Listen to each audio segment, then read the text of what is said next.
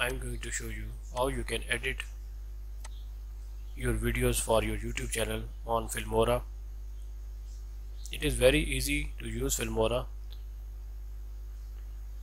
First you have to start your Filmora. You have already installed in your PC okay you can drag or add video from there any video you want to edit. For example I have this video with me. Okay. You can see the colors. And this is uh, almost one minute length video. You can uh, change the audio pitch of this video.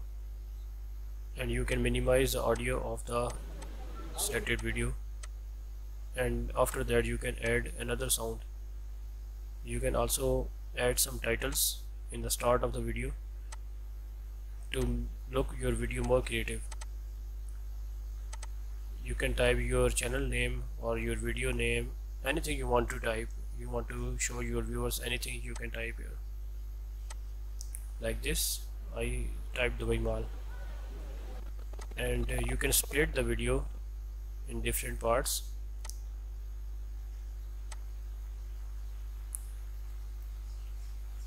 better you should uh, download these transitions elements once you install the Filmora.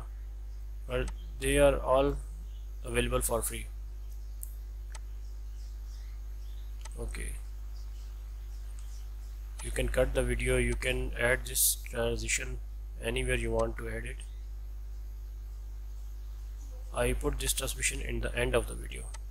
I can put it in between but I like to show this transmission in the end of the video.